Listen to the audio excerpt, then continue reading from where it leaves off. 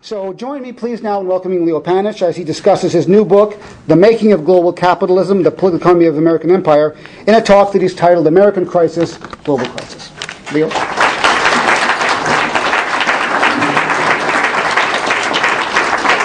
Thank you very much, Randy. You said it was going to be embarrassing, and I thought you had some dirt on me, uh, but it was, it was embarrassing nevertheless.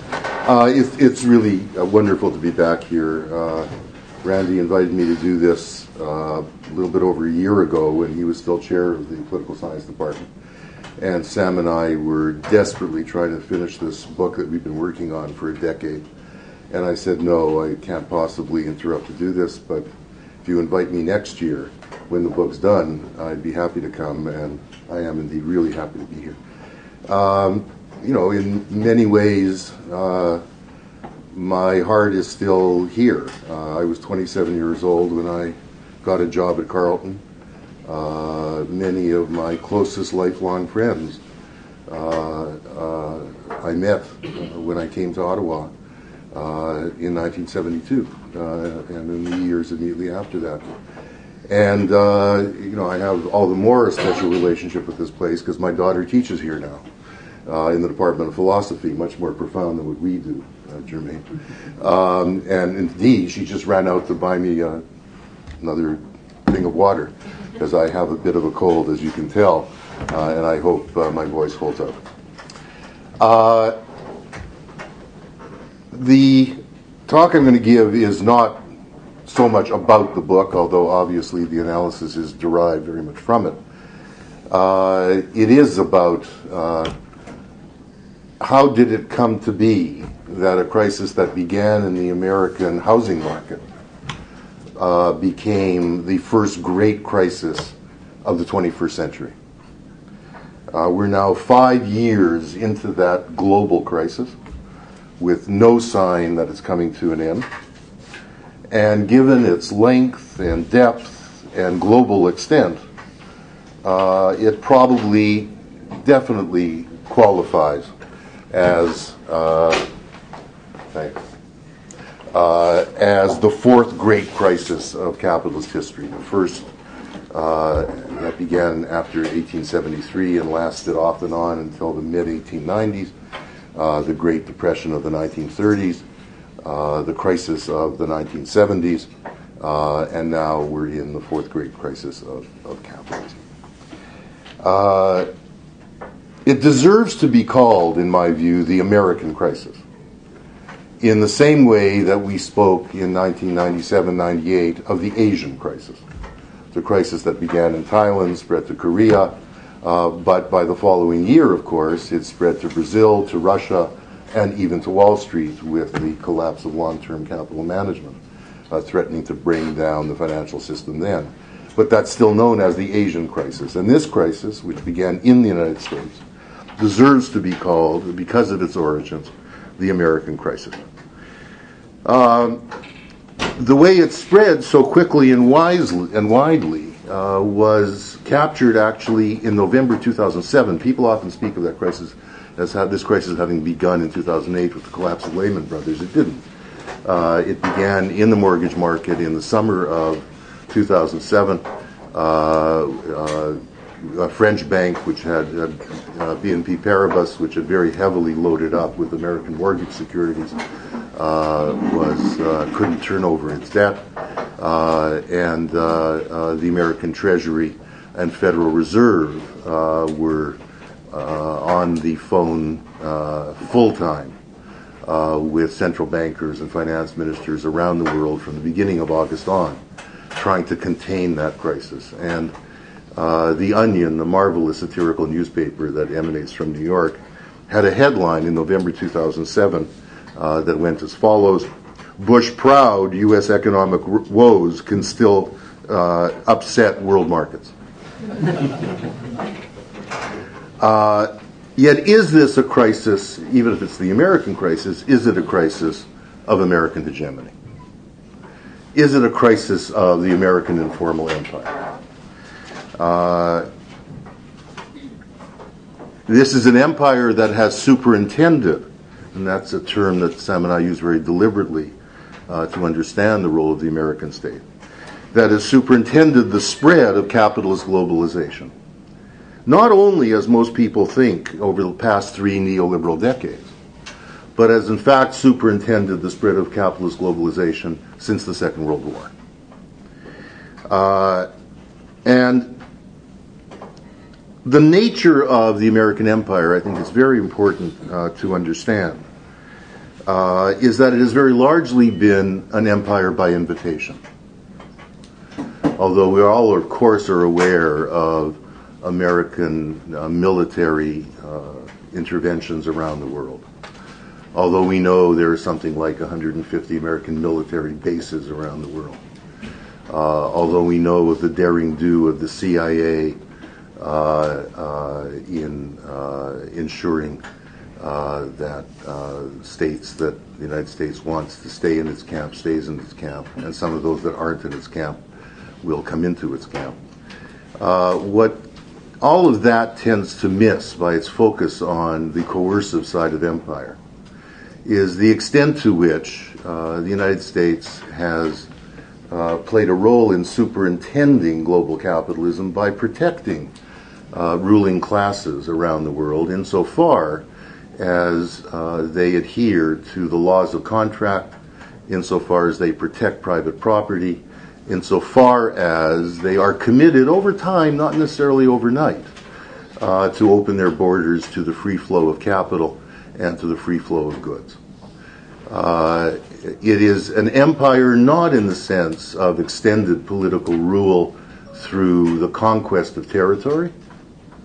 It is an empire through the penetration and incorporation of other sovereign states under its umbrella in the management of capitalism, in the reproduction and the spread of capitalism. Uh, and in that sense, it has since 1945 come to be seen by the, the world's capitalist classes as their ultimate state, the state that will ultimately protect their property, that will ultimately protect their role in the world. And the American state, conversely, is not only, and maybe not even, spreading the American national interest, whatever the heck that is, anyway, uh, when it uh, intervenes or manages around the world.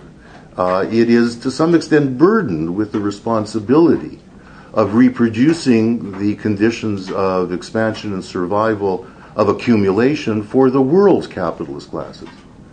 Uh, it, in that sense, represents global capital At the same time, it remains its own, the state of its own social formation, of course, and reflects the various pressures that class pressures and regional pressures, etc., that appear within social formation. That sometimes creates tensions between its global role and its domestic role, uh, as you can see often in uh, congressional antics vis a vis the Federal Reserve immediately opening its coffers to French banks when the crisis begins. What the hell are you doing lending money to a French bank?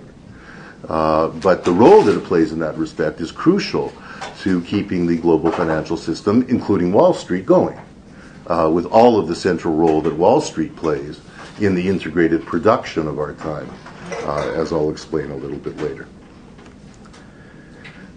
It was already the case by the late 1960s and the early 1970s as the crisis of the 1970s was already well entrained.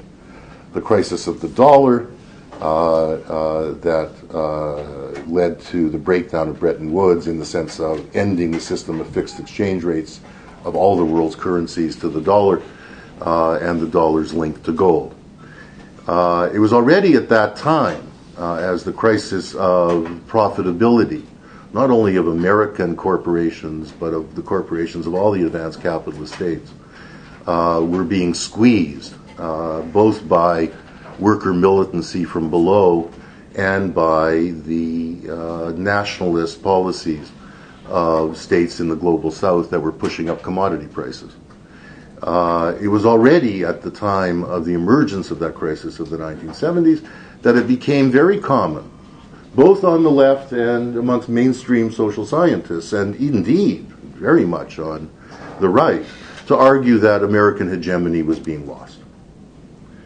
Uh, the whole field within political science of international political economy is founded on the premise that so long as America was a benevolent empire with the Marshall Plan, they call it an empire, uh, and went out of their way to make it easy for uh, the Europeans and the Japanese to recover, etc., the United States would be hegemonic because it was taking the interests of uh, other nation states into, and they meant other capitalist classes, into consideration. With the breakdown of Bretton Woods, with Nixon's introduction of an import surcharge, uh, with the realignment of currencies that inevitably followed from the flexible exchange rates being introduced, America appeared to be acting in its self interest, and all of these liberal and social democratic political scientists wanted the ear of Washington to say, hey, don't be selfish. If you're selfish, you'll lose your hegemony. Marxists like Ernest Mandel, seeing uh, Germany now becoming a major exporter to the United States, seeing Japan do the same, seeing Germany at the center of a expansive European project, uh, argued uh, in many places, including in late capitalism, that what we were seeing was the reemergence of inter-imperial rivalry. Uh, on the right, of course, uh, with uh, the fiasco in Vietnam, there was this despair, this hand wringing over the decline of the American empire, etc. Uh, but usually that was not only related to that military quagmire, but also to the economic woes that were taking place at the time. Uh, but in fact, uh, as the great Greek Marxist uh, political scientist Nikos Poulantzas uh, understood better than anyone at the time, there was, as he put it, in a book in 1972. There was no solution to the crisis uh, by European bourgeoisies attacking American capital. The question for them is rather to reorganize a hegemony that they still accept. And that is precisely the situation today. Precisely the situation today. During the 1960s and 70s, now after the recovery from Europe and Japan, very much fostered by uh, the United States, partly through uh, exchange rates that were very favorable uh, to the uh, exports of those countries to the vast American market. Um, uh, after the recovery of those countries, that did indeed lead to the breakdown of Bre- Bretton Woods, but at the same time, it led to much closer integration between those states and their economies and the American state and its economy. American multinationals, once uh, the welfare state was in place in Europe, uh, once Japan uh, had recovered its and, and, indeed vastly increased its industrial export competitiveness, uh, uh, once the con- currencies of Japan and Europe became convertible in 1958, uh, once the American state had done its work in that respect, and Bretton Woods had done its work in that respect, uh, you began to see an enormous flow, of course, of uh, foreign direct investment around the world. Uh, uh, above all, led initially by multinational corporations from the United States. Uh, this was very quickly followed by American banks coming into Europe not only to be sources of credit, because most of the source of credit for those multinationals were European banks, uh, but in order to occupy the new euro dollar market as London merchant bankers switched their allegiance from sterling to the dollar, which they did in the late 1950s. And by the mid 1960s, it was American investment banks that dominated the euro dollar market and the euro bond market, and they still do to this day. Uh, but more than that, uh, there was a reverse flow of FDI.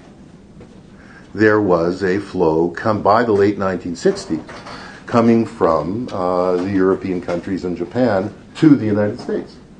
Partly using the surplus in trade that they now have with the United States to invest in the United States. And not simply to buy treasury bills, government securities, etc., but to invest in American plants and industry and services and so on. Now, we're very familiar with this as Canadians. Right? Do you know the country that has the greatest foreign direct investment in the United States? It's Canada. That doesn't make us an imperialist power inside Canada. But immediately, as soon as that started happening, you started getting from left to right the argument that, aha, you see, Japan is dominating the United States. It's imperial vis-a-vis the United States. Germany is imperial vis-a-vis the United States, etc. And it was a, a, a fundamental misunderstanding of the degree of integration that this represented, and the extent to which that flow of foreign capital was an attempt on the part of foreign capitalists to get the American state on their side as the continuing central state in the making of global capitalism. Uh, in this respect, perhaps most missed, although not by the people who do international political economy, but most missed by others, was the very, very important coordination that started going on from the mid 1960s on between the staff, the permanent staff, in the world central banks and finance ministries to try to cope with the dollar crisis, which was as much their crisis as an American crisis, because everyone was so integrated and dependent on the dollar as the global reserve currency. And you started getting these very, very regular meetings amongst the staff of these domestic central economic agencies. And they developed a lot of camaraderie amongst each other, which lasted for decades. They developed a lot of expertise in attempting to coordinate the management of crises. Uh, moreover, uh, they realized that it often would be easier for their governments to pass certain policies through their legislatures if they could blame it on the G10 or the G7 or now the G20 or the IMF or the World Bank. They made us do it. And in fact, they would go to these meetings saying, look, if you can issue a, if we can get a communique out of this meeting that says this is necessary, we'll be able to shift the balance of forces inside our country to get through a policy that uh, you know, capitalists have been calling for in our country, but we can't get through given the balance of forces in our country. And people who don't understand that tend to see structural adjustment by the IMF as simply an external imposition. But in almost every instance, if you look at it closely, the policies introduced through structural adjustment by the IMF when a country gets into difficulties are policies that the strongest elements of that particular state's capital and certainly uh, very important elements inside the state economic apparatus have been pushing for, but haven't been able to get through domestically, given the balance of forces inside the country. Now, this begins in the 1960s, and that coordination, which is the root of what becomes the G7 by the mid 1970s, is enormously important in ensuring that the kinds of tensions, the kinds of contradictions that emerge with these economic crises are contained. Uh, and and uh, it was through the course of the 1970s that people predicted after the breakdown of Bretton Woods this would interrupt international trade. Uh, people predicted, indeed, our colleague Eric Helleiner in a marvelous book in 1996 uh, on the state and financialization looked at the 1970s crisis and said the Europeans and the Japanese wanted capital controls, and these right wingers in the Nixon Treasury didn't. And sure, this was the line that you might have gotten superficially, but in fact, the coordination at these types of meetings was such uh, that that wasn't at all the case. There was virtually no fundamental disagreement between them. They were looking to reorganize the system of uh, uh, dollar finance but they in no sense were looking to uh, interrupt the deep integration that had already occurred, and they were all committed to ensuring went much, much further. Uh, there was pressure, and it was not insignificant pressure, uh, to secure the value of the dollar against inflation, insofar as the dollar was the measure, the abstract measure of global value, insofar as it was the main unit of accounting in global capitalism, insofar as it was the main mechanism of trade uh, in terms of currencies. Uh, every state in the world had that was linked into global capitalism had an interest in ensuring that the value of the dollar was not undermined. Above all, those that were holding a surplus of American dollars because of their trade with the United States. Germans and Japanese above all, but not only. And certainly they were putting pressure on the Americans uh, to deal with that problem. Uh, this is an example of how an informal empire is very different from a colony.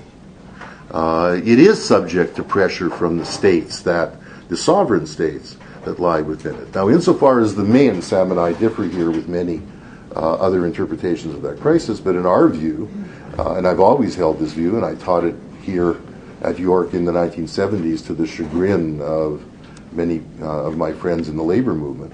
Uh, in our view, the main source of that inflation was indeed worker militancy. Was indeed the 35% wage demand, increased demands that nurses were making as they organized. And why shouldn't they have made those demands?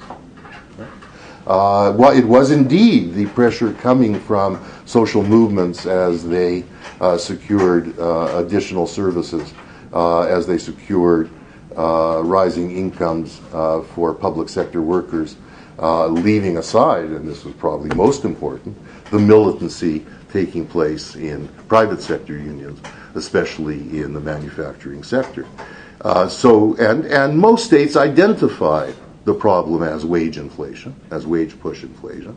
And that's why when leftists said, yeah, the problem is this union militancy that is producing inflation, uh, that is the way the capitalist system is presently coping with uh, squeeze on profits. Uh, uh when that was said, of course, many people in the union movement thought you were saying the same things as the bourgeoisie was saying, that you're blaming the unions for the problem. Uh, it wasn't so much blaming it as realizing that class is a relationship, and in that relationship, workers have power, although it's very asymmetric power. And they were, under conditions of full employment, exercising it, although in a very narrow way, a, a way that reflected wage militancy in order to get more money to be able to buy all the consumer goods that capitalism was producing. In that way, realize the American dream. Uh, uh, and, and, it was realized uh, on the part of all of the capitalist states involved under the American umbrella that however much they repressed that militancy, it wouldn't fundamentally be resolved until the United States did the same.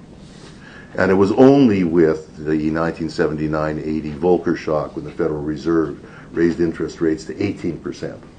And we're prepared to let unemployment go as hard as it needed to go in order to break that militancy, that you really had a resolution uh, to the crisis of uh, the 1960s and 1970s. Uh, and you got with that the famous turn to what is now so commonly called, well, not so much outside the halls of academe, neoliberalism. Uh, it came along with the Japanese and the British under Thatcher removal of all capital controls, just at the same time that the Volcker shock was introduced.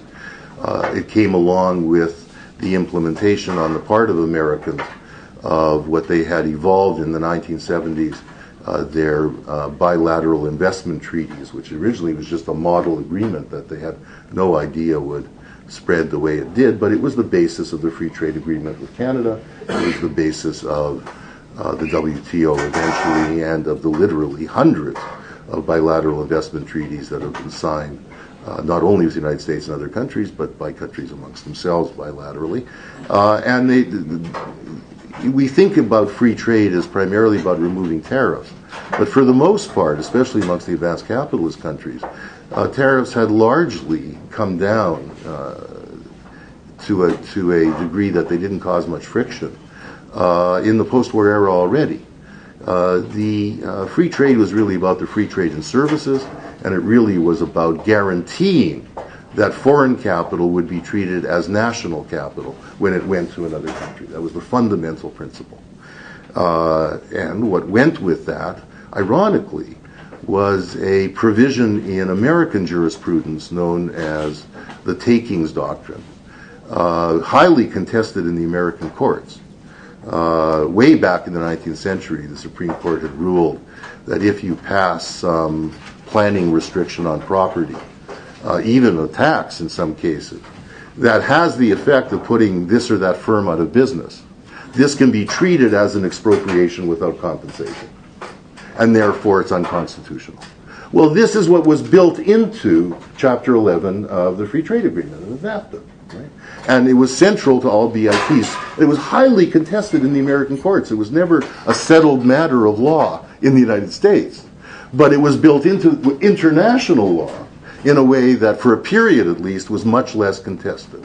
It was an example of the way in which it isn't just a matter of Reagan's ideology or Thatcher's ideology that was so central to neoliberalism, but it was indeed the very legal fab- fabric of the American state and what is more state than courts and laws uh, that was built into this period.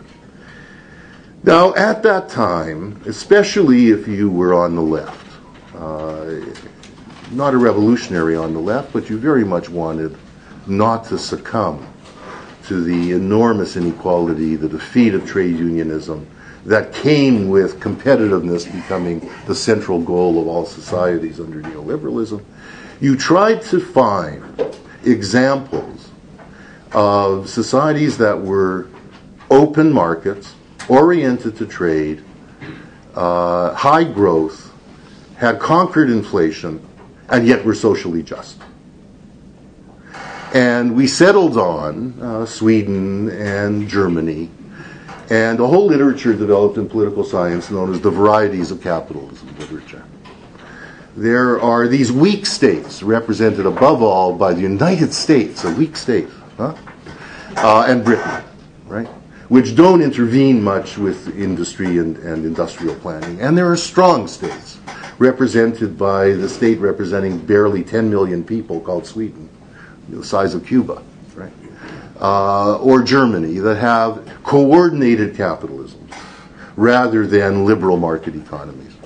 And their coordinated market economies are marked by the fact that they have corporatist relationships between business, labor, and the state, and they're marked by very close integration between finance and industry, whereas the United States characteristically has always had a much more in, indirect relationship between finance and industry, uh, where there are no direct links between banks and industrial corporations, as very famously there are in Germany. There's a commercial paper market, there is a stock market, uh, there is a corporate bond market uh, where uh, people buy in a much more indirect way the obligations of American industry.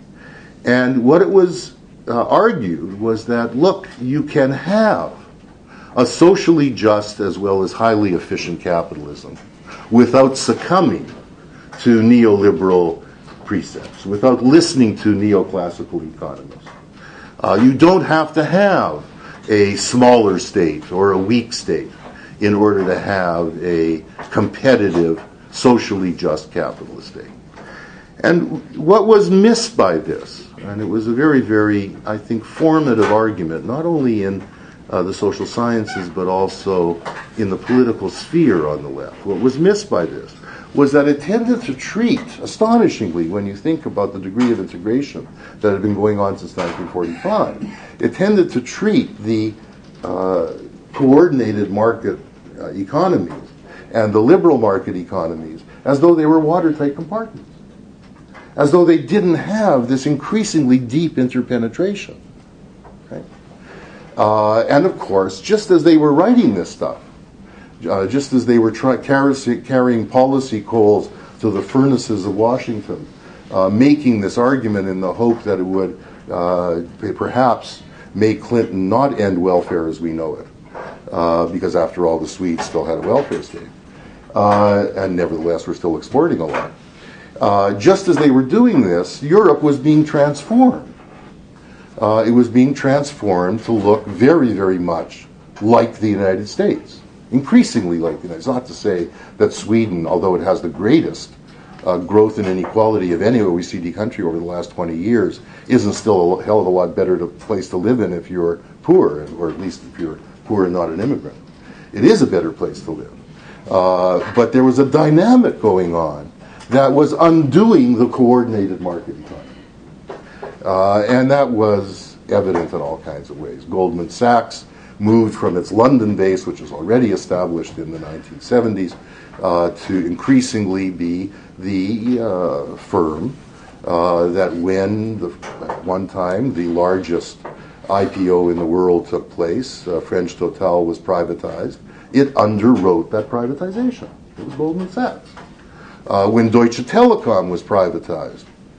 Goldman Sachs advised the German Bundes, uh, the, the, legislature, on how that privatization should be carried out, and then it, jointly with Deutsche Bank, the Germany's largest bank, carried out that IPO. And Deutsche Bank, just as these brilliant social scientists of the social democratic left were making the case for coordinated market economies, Deutsche Bank was turning itself into a facsimile of American investment banks. divesting of itself of its direct ownership of industry, and indeed arguing that if it didn't do so, as it engaged in these kinds of IPOs, it would be in conflict of interest. Uh, so there was a transformation going on inside Europe, very much accelerated, of course, by uh, the move to uh, economic and monetary union from the mid 1980s on, leading to the common currency. Uh, Europe took the lead, in fact, in opening uh, the capital markets around the world. In some senses, were more active than the American state was in, in doing so. Uh, now, that's entirely to leave aside the role of uh, U.S. law firms and accounting firms in the making of global capitalism, not least in Europe and, and uh, even in Asia. Uh, the largest uh, accounting firms in the world, accounting is dominated by five large firms. One of them went under in the uh, crisis of the late 1990s and that led to the Enron crisis, of course, Arthur Andersen, uh, but they continue to dominate it. Uh, the vast expansion of U.S. corporate law firms uh, all around the world, uh, which we have a table on in the book, it's, it's astonishing, uh, is part of this because if you're going to be dealing with international law, that is in fact based on American law, who do you want to go for for advice but to an American corporate law firm? Uh, so there was a reproduction at the international level of the American empire through the era of neoliberalism, which uh, made the varieties of capitalism argument uh, increasingly threadbare. Uh, there was also an enormous emulation of U.S. economic success. Uh, we don't like to admit this, but after the uh, crisis of the 1970s was ended by the breaking of wage push inflation, by the ending of the expansion of the welfare state. Uh, after 1983, if you look at it from starting from then rather than from during the crisis, 1973, after 1983, right up to 2007, uh, American productivity rates were much higher than they were in the 1950s and 60s. American growth rates were very close to what they were in the 1950s and 60s, etc. Uh, yes, it's very true uh, that wages stagnated, that there was an enormous growth in inequality. Right? Absolutely true. Uh, and many people don't like to say, well, you have a dynamic capitalist economy if not everybody's doing well in it. In fact, on the contrary, the material basis of the American empire was being reproduced on the precisely on the basis of that growing inequality. The condition for the reproduction of the American empire in the neoliberal era was indeed the increase in exploitation that took place in the United States. And after all, it's a relatively rich proletariat we're talking about. So there's room for this. Uh, and there was an enormous emula- emulation uh, of the United States, especially for its labor flexibility. One of the things that presumably characterized varieties of capitalism was that it was hard to fire, hard to fire people in Europe. Well, what the European capitalists were constantly saying was the Americans are make, creating way, way more jobs than us. Yes, they're lower paying jobs, right?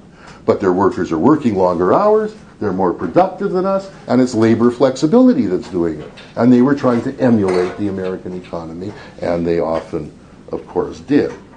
Um, at the same time, the notion that the American economy uh, no longer sustained the American empire, uh, an argument that many people made at the time of the first Iraq War. Uh, they're going into Iraq because they're an economic basket case, uh, and uh, they're getting the Europeans and Japanese to pay for the war, uh, and that is how we explain that military intervention. American economy was not being hollowed out, not at all. Uh, not only by virtue of the fact that as American auto plants closed, German and Japanese auto plants opened, sometimes 15 miles down the road in rural Ohio, if it was a parts plant, although more often it was an assembly plant or more uh, in, the, in the American South that was non unionized, where you had much more labor flexibility, etc. But apart from that, uh, you had American uh, leadership uh, not exclusive, but in, in the whole array of high tech production from computers, aerospace, communications equipment, scientific instruments, et cetera, et cetera. And American multinationals, for all of the enormous uh, growth of uh, Canadian and European and Japanese multinationals, uh, uh, American multinationals continue to dominate in almost every sphere that you could think of uh, in the global top, uh, the Fortune top 500 firms. Now, this very. Now, why am I doing all this? It's very important to understand this if we're to understand, first of all, the roots of the 2000-2008 crisis.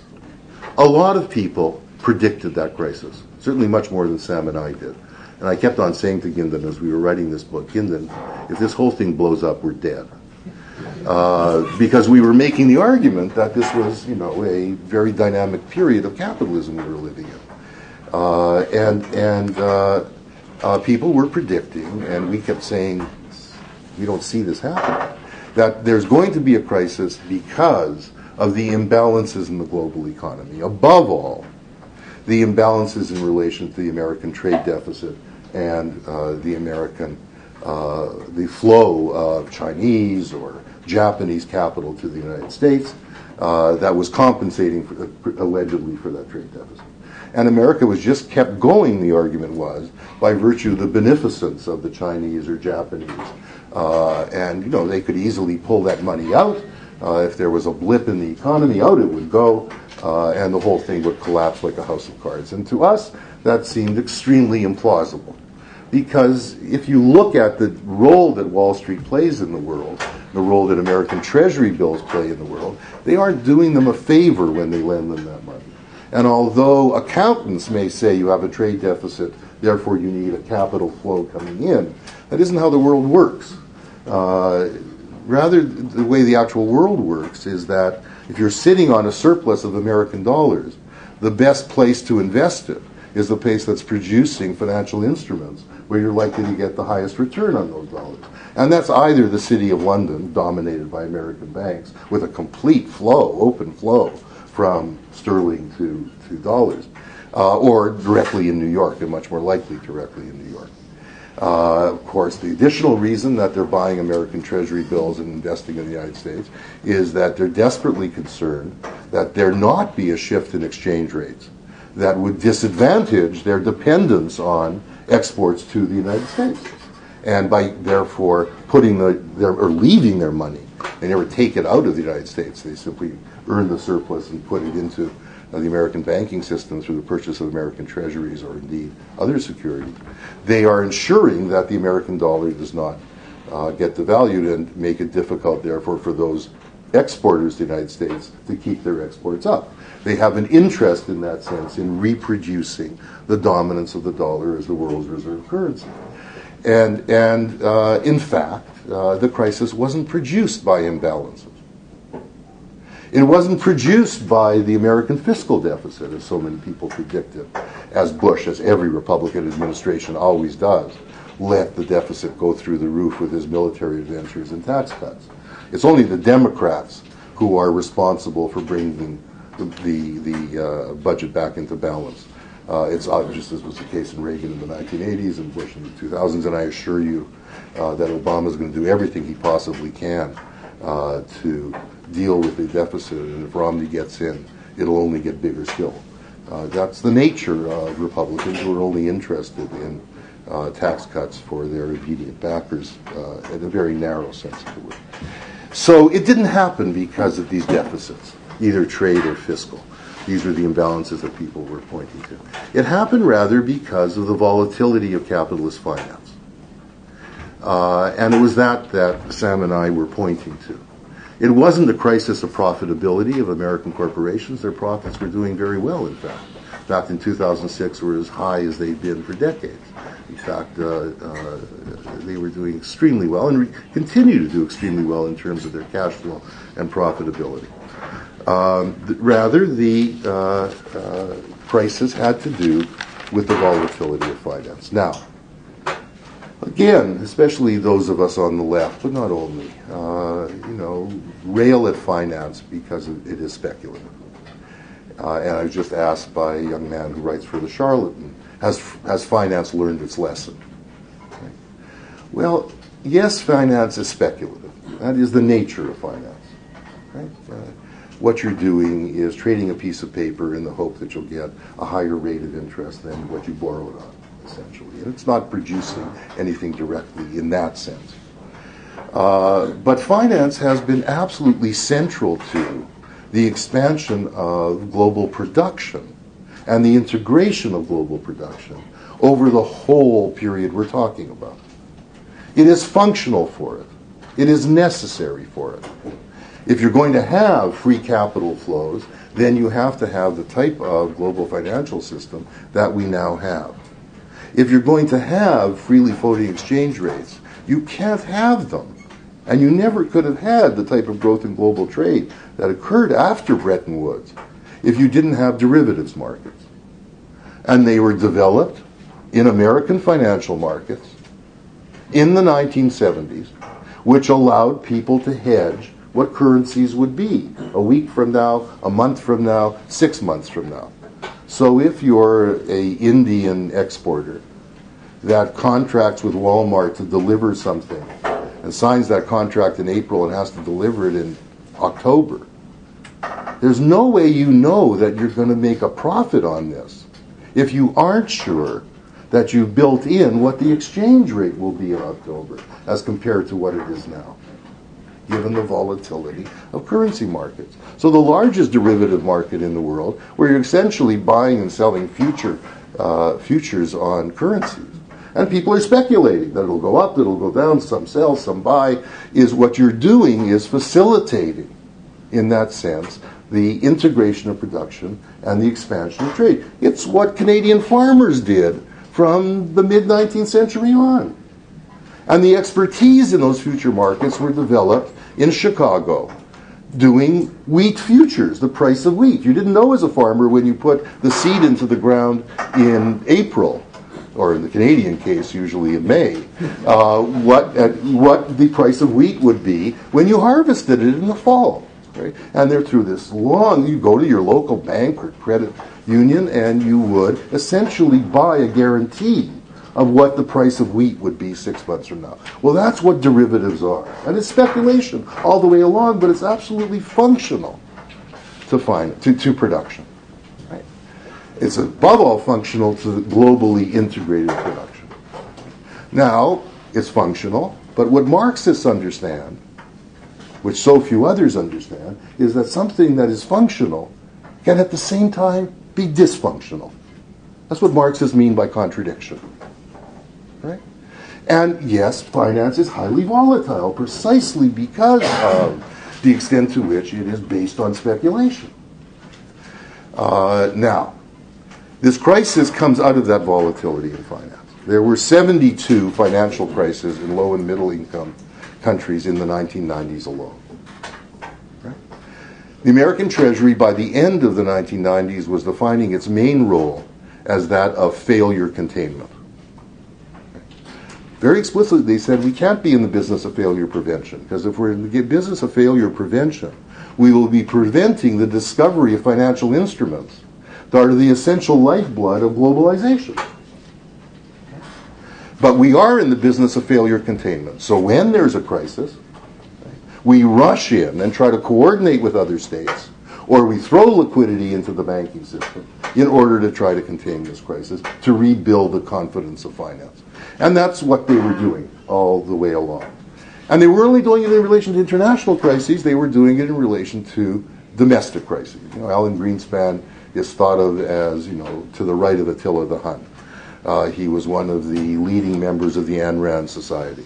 But as soon as he became chair of the Federal Reserve and there was a crisis in the US stock market in 1987, he intervened massively The intervene not only by throwing enormous dollars into the financial system in the face of that stock market crisis, but by getting the leading bankers in New York on the phone and telling them what to do, instructing them what to do, as J.P. Morgan used to do during the 1907 financial crisis before you had a Federal Reserve, when he would tell the other bankers what to do.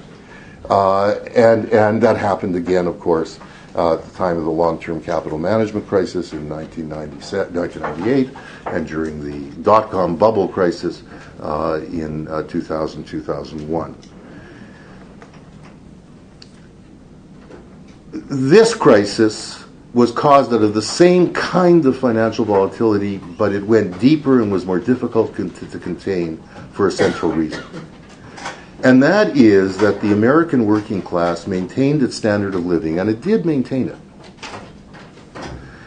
As wages stagnated through the 1980s and 1990s, yes, by working longer hours, yes, by everybody in the family working, but above all, through credit.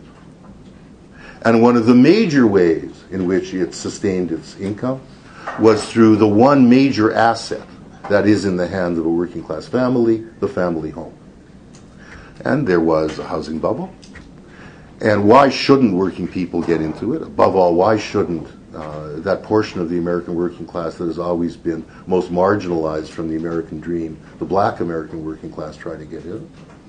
And indeed, administrations from the 1970s on, as the vast public housing that would have been needed to save and transform American cities uh, uh, needed to take place, were encouraging the banks, indeed, in some cases, we're instructing the banks to lend money to those areas of cities that they had previously redlined as you shouldn't lend to. Uh, uh, the greatest, one of the great victories of the 1970s was around credit. First of all, women could get credit cards. And secondly, with the Community Reinvestment Act of 1978, pushed by the left inside the Democratic Party and especially uh, the Democratic Black Caucus, uh, banks were required to set aside 5% of their capital in every area in which they operated for lending into black communities. The roots of the 2007 crisis, to some extent, begin here. The attempt to solve the racial problem of the American dream through getting the financial system to play that role. Clinton was known as the black president, very largely because of the enormous growth in mortgage securities that went to black families uh, in the 1990s. And those securities, a bank would lend you the money. It wouldn't hold on to that mortgage. It would package it into another security, slice it and dice it with ones that weren't as risky, put it into a uh, broader security, and sell it off to a municipality in Norway. And there was an enormous appetite already in the 1990s for these securities. The appetite grew all the more as the Federal Reserve kept interest rates very low in the early 2000s. In the wake of the growing deficit, partly because of the war and the tax cuts, uh, partly because after the very brief recession uh, at the beginning of the decade, there wasn't a quick rise in employment. And they kept interest rates very low. So if you're buying treasury bills, as the Chinese and Japanese and the Norwegian municipalities were doing, you know, you're not making much of a return.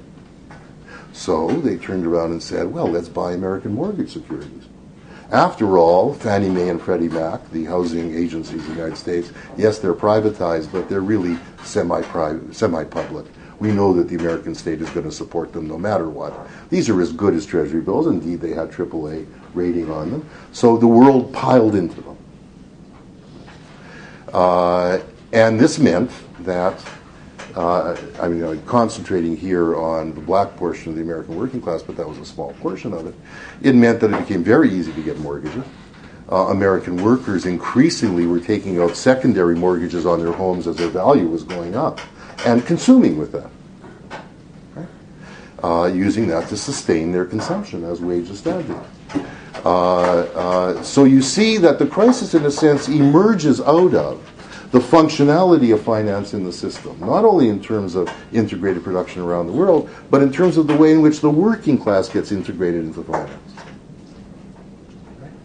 Uh, and indeed, uh, when the crisis happens finally, uh, when, you know, the congressional inquiry on the crisis shows that 10,000 people with criminal records were selling mortgage securities, selling mortgages in Florida alone. 4,000 of them had fraud convictions previously. So what happened with Bush, sure, that hadn't happened under Clinton. It always happens with Republican administrations that you know, are dependent on real estate developers in every community, is that they let every shyster into the business. It made it worse. But the problem was already deeply entrained, right? This made it worse. And the bubble burst. uh, uh, the bubble burst, and it immediately then, and the Onion was right, Bush could say he was proud of it, spread around the world very quickly. Even to those German banks, semi public banks, the Landesbanken, that remain most integrated with industry. Because they had been under pressure from the European Union, which wanted more liberalized finance, that they ought to be getting a higher rate of return on their investment. So what did they do? They bought American mortgage securities. And they were the ones who took the biggest hit in Germany, uh, in fact, initially. Now, what are the characteristics of this crisis? Anybody would say what's remarkable about it is the enormous amount of state intervention. But this is nothing new.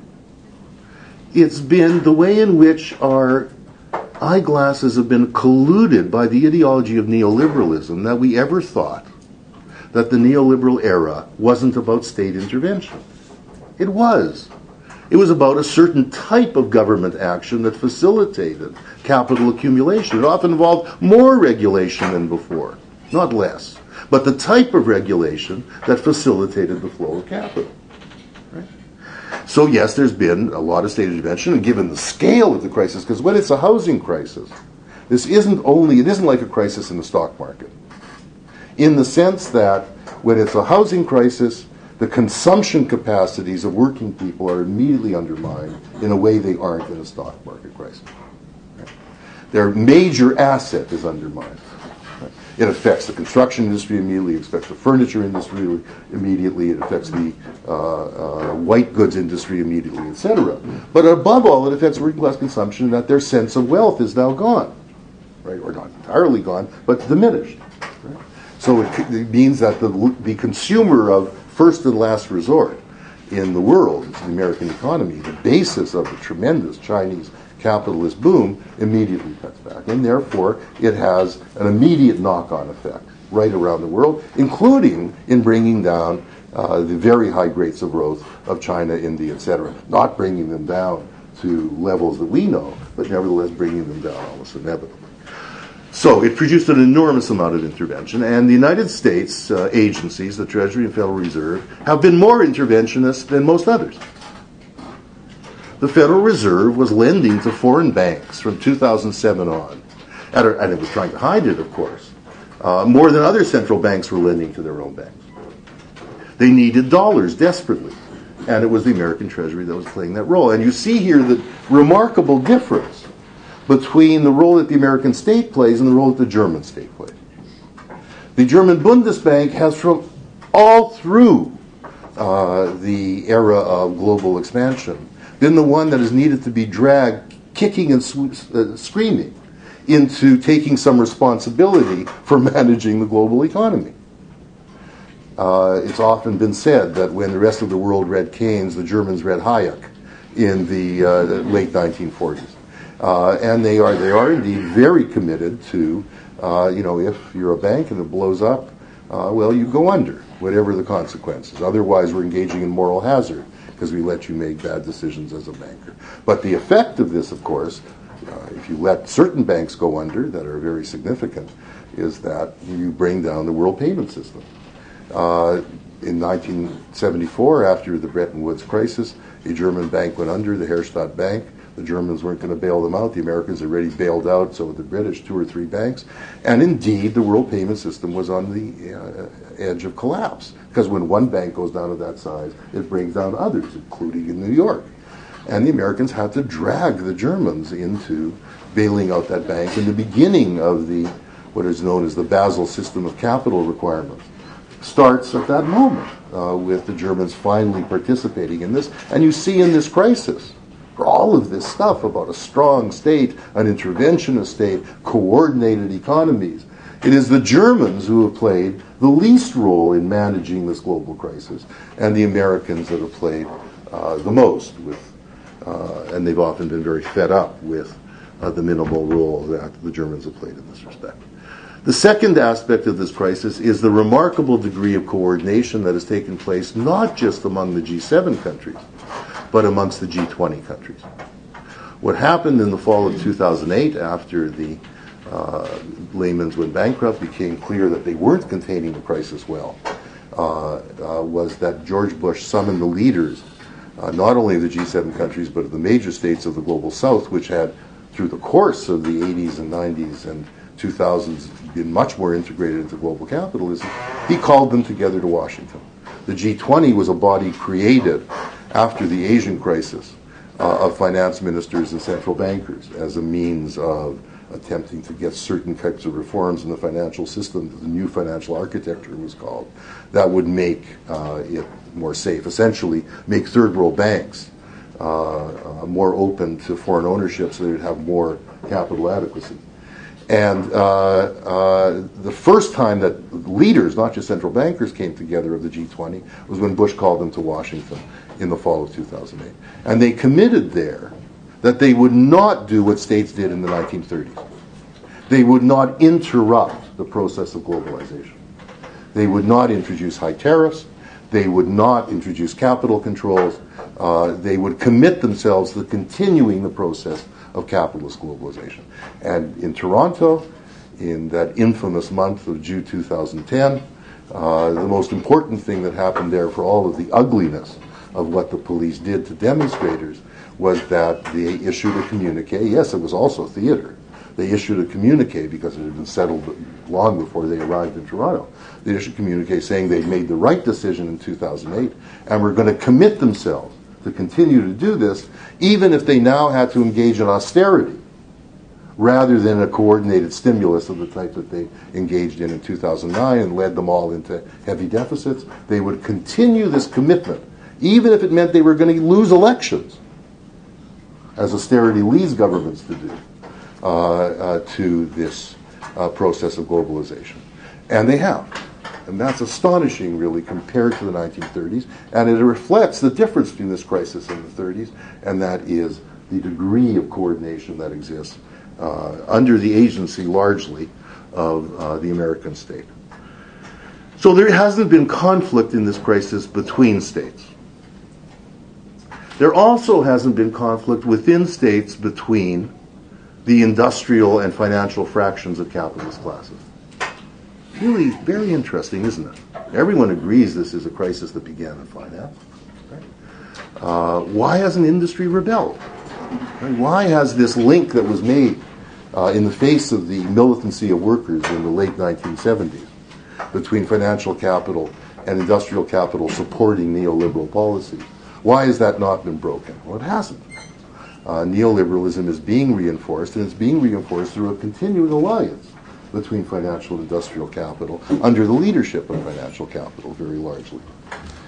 Where there has been conflict, has been conflict inside states, and I hesitate to say here it has simply been a class conflict. It has been a class conflict, but it has involved conflict of the type we see with uh, the, the, the, occupation of squares uh, more than strikes right around the world, although there have been many one day general strikes, of course, as part of this crisis. Uh, there has been conflict inside states in the face of this crisis. And I want to end with uh, thinking about that. Uh, one big question, I think very fair to ask, is that given this conflict inside states, will it be possible for the states of the G20 to be integrated into the American empire the way in which the states of the G7 have.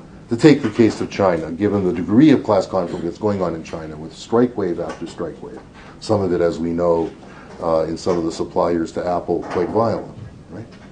Will it be possible for the Chinese state to continue to integrate, uh, given that degree of class conflict? Uh, and in any case, we know that for reasons to do with culture and language and class structure, etc. Uh, these are, you know, we're talking about apples and oranges here. Uh, so the biggest challenge to the American state, and it's known it for a long time, has been can we integrate Brazil, South Africa, China, et cetera, et cetera, into this political umbrella of coordination of management. And they knew it was a very difficult task. Maybe it's a more difficult task than uh, the old empires had in keeping their colonies in. We have to see. Uh, so far, it ain't falling apart. From the left perspective, uh, I think we need to ask what shape will this internal conflict, uh, which uh, uh take, in order for it to become, in some ways, an effective class conflict. Uh, and and the answers here are by no means clear. The strategy of the Western left, uh, and this was true even of the communist parties in the liberal democracies, certainly of the social democratic parties, and eventually all of the trade union movement, uh, was to win benefits, real reforms, for their base, for their working class base through integrating them further into capitalism. Giving them access to capitalist consumer goods, you know, giving them a degree of security in relation to pensions, but those pensions would be dependent on their institutional investment into this financial realm, right? And the functional role that finance plays. Uh, and that capitalism uh, is increasingly irrational. Uh, it's increasingly irrational, it's increasingly crisis prone. It does not appear, however, that those parties uh, and those unions uh, are capable of restructuring themselves so as to become agencies of class struggle again. Uh, when uh, the United States began in the 1945 period building this global capitalism, it was very clear, and this was said in a pamphlet produced during the war by Fortune and Life and Time magazine, but it was the State Department that was doing the thinking, the Treasury that was doing the thinking, that the greatest barrier to the making of global capitalism was the rise of the international proletariat over the previous two decades. Well, that international proletariat looked revolutionary, or at least very radical at that time. It isn't today. The big question about the Chinese class struggles taking place today is whether if an independent labor movement emerges in China, will its goal be to secure the types of uh, benefits for its work for their workers that they can become individualized consumers rather than uh, meeting collective needs through uh, a new form of socialism. But ironically, the great achievement of the working class movement uh, in the Western advanced capitalist countries was that the reforms they won uh, were won mainly to the end of making their members individual consumers. Uh, and, and the question that lies before us is can we move out of this? Uh, the rise of Syriza in Greece, uh, a new party that uh, has roots over the last 20, 30 years in the attempt to find a way out of this impasse. It was Euro communist currents that began it in the 1980s that are attempting to go beyond the old reforms to take capital away from capital, to make investment decisions, democratic public decision. What's to be invested, where is to be invested, how is to be invested. The essence of that initially would have to be to turn the banks into public utilities. Uh, that party, Syriza, has had this in its platform for some time. Uh, they don't call it nationalizing the banks, they call it socializing the bank. Uh, but if you think for a minute what that would entail, it would entail, and this is what the managers of the system worry about much more, it would immediately entail introducing capital controls, not only on the flow of capital inside and outside the country, but on investment within the country. And uh, what would be the consequences of doing that for a country like Greece? You know, in a way, we're back to 1917. If the weakest link goes, and for the people of Greece not to suffer enormously as a result of being pushed into that or choosing to do it, you would have to have a shift in the balance of forces elsewhere in Europe, above all in Germany, which would make the costs of doing that not so terrible. The provision of loans so that Greece would be able to buy the imports it. Right? Uh, so breaks will happen, no doubt. Whether they will happen with the types of parties capable of developing the capacities of people that support them to understand the stakes involved. Uh, whether they'll happen in a way that they can inspire similar shifts elsewhere uh, is the question that, that faces us. Uh, in the end, and we Canadians know this better than anybody, I guess the message of Sam's in my book is that although this developments may happen everywhere, uh, we Canadians know very well that we can only go so far if the Americans stay on their knees, and I mean the American left, the American working class, American trade unions, etc. Uh, if there isn't a shift in the balance of forces of this kind in the United States, how far can we go? And in that sense, I think that's why so many people were so energized by Occupy. When I saw a young woman holding a sign saying the trouble with the American dream is that you need to be asleep to believe in it, wake up, right? That wasn't only speaking to the American dream in the United States, it was speaking to the irrationality of the American dream around the world. And one has to hope that despite the uh, Occupy having lost its energy, uh, or maybe even because of it, and the lessons to be learned from that, uh, we will begin to see the type of new class organizations that will try to put on the agenda getting beyond global capitalism once again. Thank you.